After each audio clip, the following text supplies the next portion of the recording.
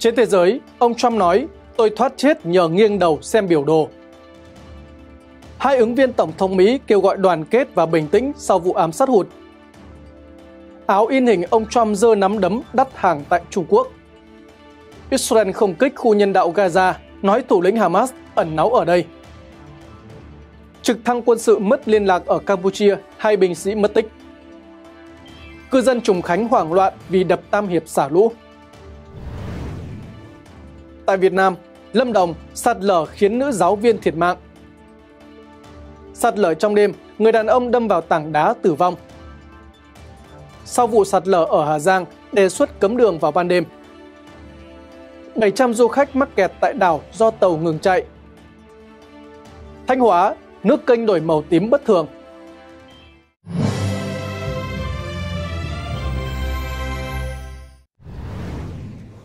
Chào mừng quý vị đến với chương trình tối nay ngày 15 tháng 7 trên kênh Khỏe Tự nhiên. Chúc quý vị buổi tối an lành và hạnh phúc. Và sau đây sẽ là thông tin chi tiết về các diễn biến mới nhất trên thế giới. Mở đầu là phần tin cập nhật liên quan vụ ám sát hụt cựu Tổng thống Donald Trump. Vâng thưa quý vị, chia sẻ trong cuộc phỏng vấn trên máy bay riêng hôm 14 tháng 7, ông Trump kể lại chi tiết diễn biến vụ ám sát hụt, cho biết ông thoát chết nhờ nghiêng đầu sang phải xem màn hình chiếu biểu đồ về người nhập cư. Ông nói rằng bác sĩ ở bệnh viện nói ông ấy chưa từng chứng kiến trường hợp nào như vậy và gọi đó là phép màu.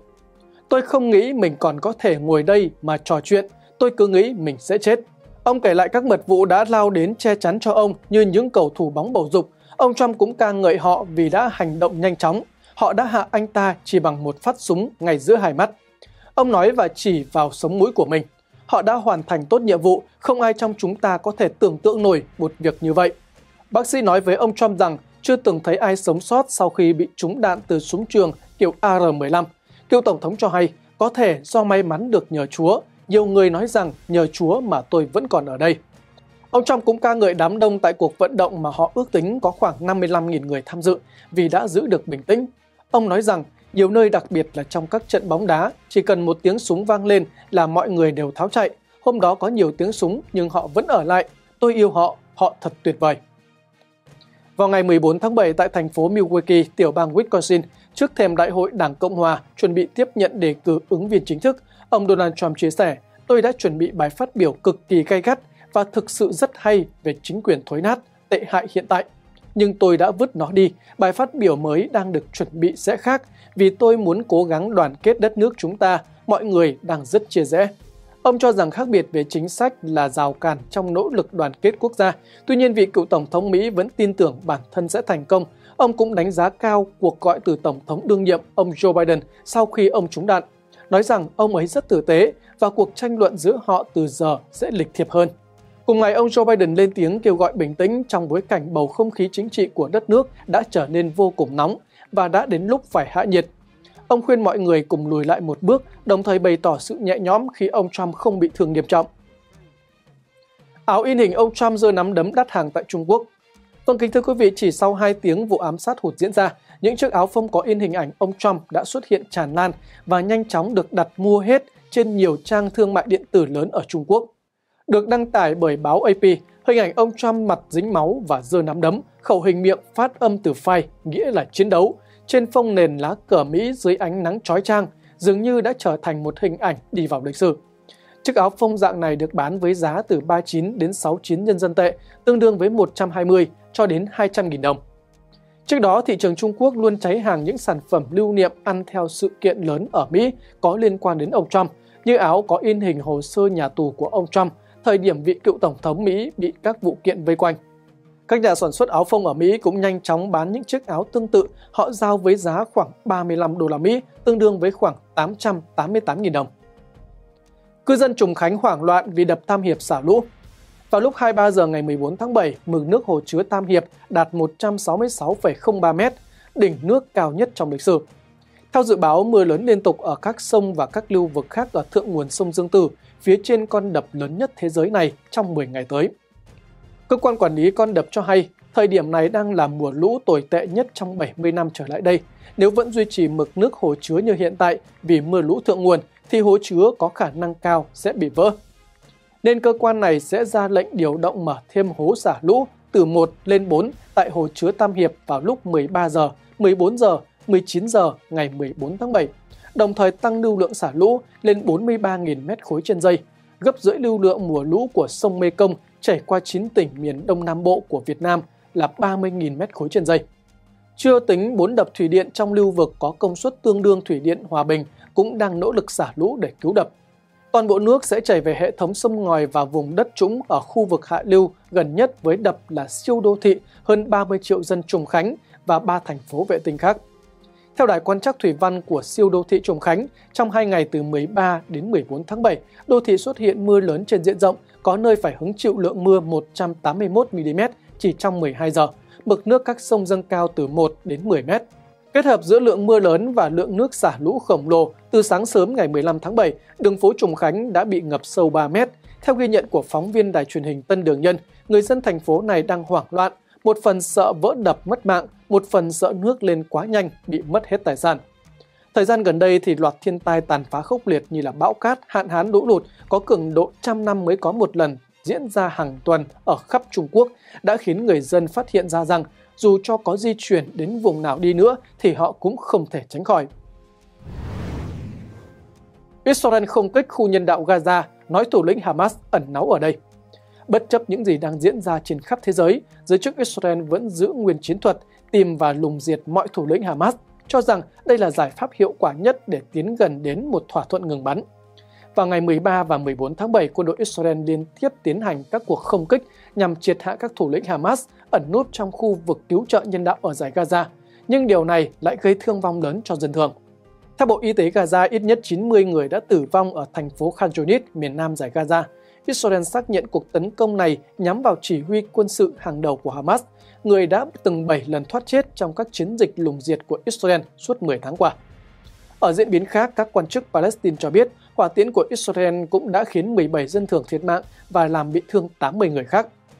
Làn sóng dư luận quốc tế giận dữ vì cuộc tấn công nhắm vào một khu vực mà trước đó Israel chỉ định là an toàn và họ bắt đầu tấn công mà không hề có bất cứ thông báo trước nào, đã thổi bùng lên các cuộc biểu tình ở rất nhiều thành phố trên thế giới. Tuy nhiên, chiến sự vẫn tiếp diễn.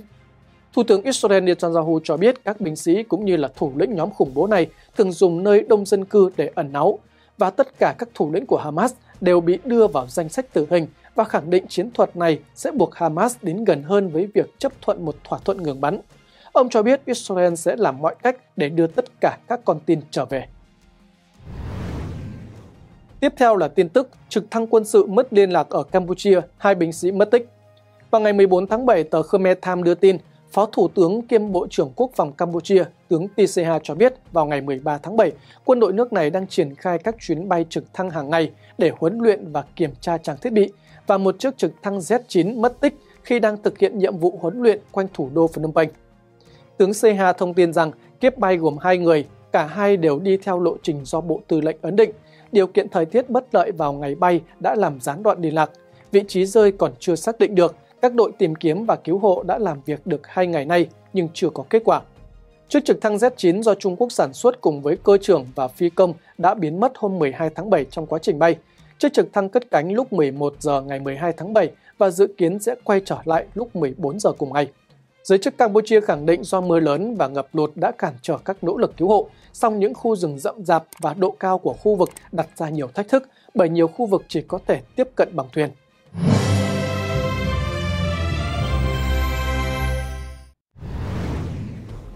Tiếp theo mời quý vị chuyển qua phần tin tại Việt Nam. Lâm Đồng sạt lở khiến nữ giáo viên thiệt mạng. Vào ngày 15 tháng 7, ông Trương Hữu Đồng, Chủ tịch huyện Đam Rông, Lâm Đồng cho biết khoảng 4 giờ sáng cùng ngày một vụ sạt lở xảy ra vùi lấp một phần căn nhà của một gia đình giáo viên tại thôn trung tâm. Khi sạt lở xảy ra, người chồng may mắn kịp kéo hai con nhỏ chạy thoát ra ngoài, người vợ là giáo viên tiểu học không kịp thoát, bị vùi lấp và tử vong. Ông Đồng cho biết căn nhà của vợ chồng giáo viên này xây dựng dưới chân một quả đồi cao sát quốc lộ 27, ở ổn định khoảng 10 năm nay. Những ngày gần đây thì tại khu vực này liên tiếp có mưa, đây có thể là nguyên nhân gây ra vụ sạt lở. Cũng trong ngày, cơ quan chức năng đã di rời người dân ra khỏi khu vực nguy hiểm và cắm biển cảnh báo sạt lở. Trước diễn biến mưa lớn xảy ra khắp ba miền, thì cùng ngày tại Sơn La cũng xảy ra một vụ tai nạn thương tâm khác liên quan đến sạt lở. Sự việc xảy ra tại tuyến đường tránh thành phố Sơn La, đoạn qua bản Hịa, xã Hua La, tỉnh Sơn La. Khoảng 5 giờ sáng, người đàn ông chú huyện Điện Biên, tỉnh Điện Biên lái xe máy qua đây thì gặp nạn khi đâm vào một tảng đá chắn giữa đường. Tại hiện trường tảng đá chiếm già nửa lòng đường, chỉ chừa lối vừa đủ cho xe 4 chỗ di chuyển. Lãnh đạo xã cho hay do vụ sạt lở xảy ra trong đêm nên cơ quan chức năng chưa kịp cảnh báo và xử lý khối lượng đất đá. Người đàn ông có thể không kịp quan sát nên đâm phải. Trước tai nạn một ngày, người dân di chuyển qua đường tránh quốc lộ 6 đã thấy các tảng đá nằm tranh vênh trên vách núi và đã chụp hình ảnh đăng lên diễn đàn để cảnh báo các tài xế. Sau vụ sạt lở Hà Giang, đề xuất cấm đường vào ban đêm. Liên quan đến vụ sạt lở làm 11 người thiệt mạng trên quốc lộ 34 ở Hà Giang, Thứ trưởng Bộ Nông nghiệp và Phát triển Nông thôn Nguyễn Hoàng Hiệp thông tin, trước đó cơ quan chức năng đã cấm đường một ngày để dọn dẹp. Sau khi thông đường, đến đêm xe đi vào thì xảy ra sạt lở dẫn đến sự việc đáng tiếc. Theo ông, nếu đi vào ban ngày thì có lẽ không xảy ra sự việc này. Do đó, ông Hiệp đề xuất Bộ Giao thông Vận tải có giải pháp hạn chế đi vào ban đêm, đặc biệt là khi có mưa lũ. Còn trong trường hợp nếu cảm thấy đoạn đường đó không an toàn thì cấm luôn ban đêm. Ngoài ra, ông cũng thông tin thêm, dù mới bước vào mùa mưa bão nhưng từ đầu năm đến nay đã có 68 người chết do thiên tai, tăng 30% so với cùng kỳ năm trước. Ông cũng nhấn mạnh cần có biện pháp để phòng trước quy luật 60 năm quay trở lại. Năm Giáp Thìn thường là lụt khủng khiếp và 60 năm trước ở miền Trung đã xảy ra một trận đột lịch sử. 700 du khách mắc kẹt lại đảo do tàu ngừng chạy. Vâng kính thưa quý vị, do thời tiết xấu, các tuyến tàu và cao tốc rạch giá đi đảo Nam Du, huyện Kiên Hải được Cảng vụ Hàng hải tỉnh Kiên Giang cho dừng hoạt động từ ngày 13 tháng 7, dẫn đến việc khoảng 700 du khách đang bị kẹt tại đây. Trong hai ngày qua để hỗ trợ du khách, các nhà nghỉ khách sạn tại đây cũng đã chủ động giảm giá hoặc là miễn phí tiền ở cho du khách. Riêng trong sáng 15 tháng 7, địa phương cùng doanh nghiệp đã thành lập một bếp ăn miễn phí cho khách du lịch trên đảo. Thời tiết xấu cũng ảnh hưởng đến du khách tại đảo Phú Quốc. Nhiều du khách đã kẹt lại đảo, lo lắng, không lo nổi chi phí sinh hoạt khi phải ở lại lâu trong khách sạn. Cơ quan chức năng khuyến cáo du khách không nên tắm biển khi có sóng to và đi chơi ở những khu vực nguy hiểm đảm bảo an toàn. Tại Thanh Hóa, nước kênh đổi màu tím bất thường. Một con kênh tiêu nước ở huyện Hà Trung, tỉnh Thanh Hóa đổi màu tím bất thường đang gây xôn xao cộng đồng mạng. Chủ tịch xã Yến Sơn, huyện Hà Trung thông tin đó là kênh Chiếu Bạch đoạn qua thôn Bình Lâm, vụ việc xảy ra cách đây khoảng 1 đến 2 ngày. Đến sáng ngày 15 tháng 7 khi cơ quan chức năng đi kiểm tra thì màu nước trên kênh không còn tình trạng như người dân phản ánh. Theo người dân, vùng nước tím xuất hiện ở khu vực thượng nguồn và kéo dài hàng trăm mét khiến người dân lo lắng, nghi ngờ có tác động xả thải ra môi trường. Do hiện tại vùng nước này đã trở lại bình thường nên không thể truy xuất nguồn xả thải. Nguồn nước này sau khi đi qua xã Yến Sơn thì đổ ra sông Lèn qua các huyện Nga Sơn, Hậu Lộc trước khi đổ ra biển. Và những thông tin vừa rồi cũng đã khép lại bản tin tối nay trên kênh Khỏe Tự Nhiên. Cảm ơn quý vị đã lắng nghe. Xin kính chào và hẹn gặp lại quý vị trong các bản tin tiếp theo.